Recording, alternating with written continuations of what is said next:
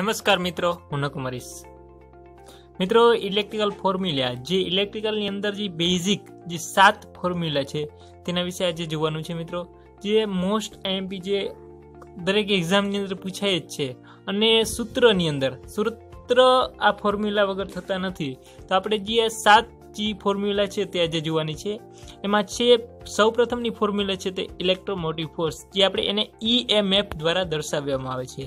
તો એનું સૂત્ર છે મિત્રો ઈ બરાબર વી પ્લસ આઈઆર એટલે કે ઈ બરાબર આઈ પ્લસ આઈ કાઉન્સની અંદર આર પ્લસ આર, એટલે કે ઈ એટલે ઇલેક્ટ્રોમોટિવ ફોર્સ ઇન વોલ્ટ એટલે કે ઈ આપણે લખી છીએ તેને ઇલેક્ટ્રોમોટિવ ફોર્સ, એટલે કે વોલ્ટ આપણે ઈની સંજ્ઞા. વી એટલે વોલ્ટેજ આઈ એટલે કરંટ એન એમ્પિયર અને R for resistance in ohm અને R for internal resistance in ohm એટલે કે કેપિટલ આર બરાબર અહીંયા રેઝિસ્ટન્સ ઇન ઓહમમાં બતાવે છે અને આર છે સ્મોલ આર એ ઇન્ટરનલ રેઝિસ્ટન્સ ઇન ઓહમ એટલે કે એનું સૂત્ર છે ઇલેક્ટ્રોમોટિવ ફોર્સનું ઈ બરાબર વી પ્લસ આઈ આર બરાબર? આ પહેલી ફોર્મ્યુલાથી આપણે. મિત્રો, એના પછી ઇલેક્ટ્રિકલ પાવર જનરેશન હજી કદાચ મિત્રો મારી ચેનલને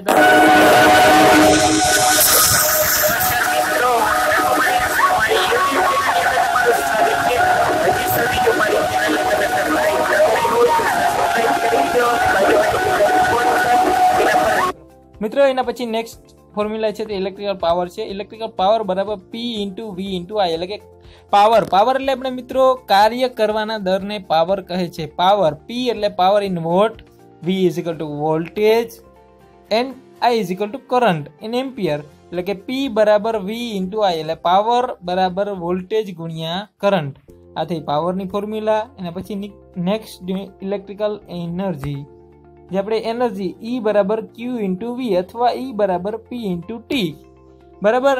ઈ છે તે આમાં ઇલેક્ટ્રિકલ એનર્જી દર્શાવે છે ક્યુ તે ચાર્જ એટલે કુલંબ. આપણે જે કુલંબ કહીએ છીએ તે કુલંબ દર્શાવે છે વી એ વોલ્ટેજ દર્શાવે છે. પી ઈ પાવર દર્શાવે છે અને ટી સ્મોલ ટી એ ટાઈમ દર્શાવે છે. એટલે એનું સૂત્ર થશે ઈ બરાબર પીટી અથવા ઈ બરાબર ક્યુવી એના પછી નેક્સ્ટ જોઈએ તો આપણે ઇલેક્ટ્રિકલ રેઝિસ્ટન્સ રેઝિસ્ટન્સ બરાબર આર બરાબર વી અપોન આઈ એટલે કે રેઝિસ્ટન્સ છે તે આર બરાબર રેઝિસ્ટન્સ ઇન ઓહમ. એટલે કે રેઝિસ્ટન્સનો એકમ છે, ઓહમ છે.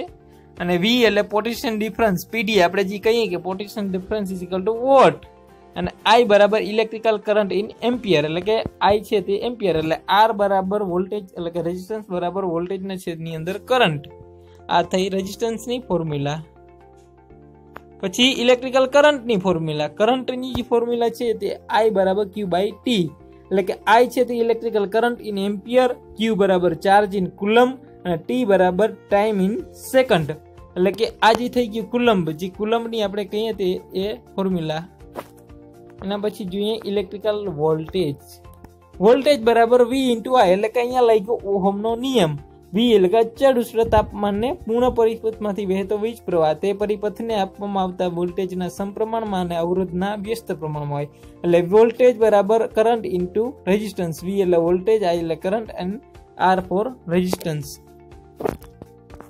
ને લાસ્ટ ફોર્મ્યુલા છે તે ઇલેક્ટ્રિકલ ઇલેક્ટ્રિકલ વર્ક એટલે કે કાર્ય ઇલેક્ટ્રિકલ કાર્ય એટલે E is equal to V into I into VT એટલે ઈ એટલે ઇલેક્ટ્રિકલ વર્ક આ એટલે કરંટ અને T is equal to time અને V is equal to voltage તો આ થઈ મિત્રો સાત ફોર્મ્યુલા જે ઇલેક્ટ્રિકલની અંદર બેઝિક ફોર્મ્યુલા તરીકે ગણાય છે, આના પરથી બધા દાખલા ગણવામાં આવે છે.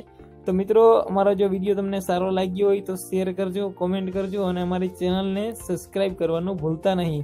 અને બાજુમાં બે લાઇકોન છે, તેને દબાવવાનું તો ભૂલતા જ નહીં. Thank you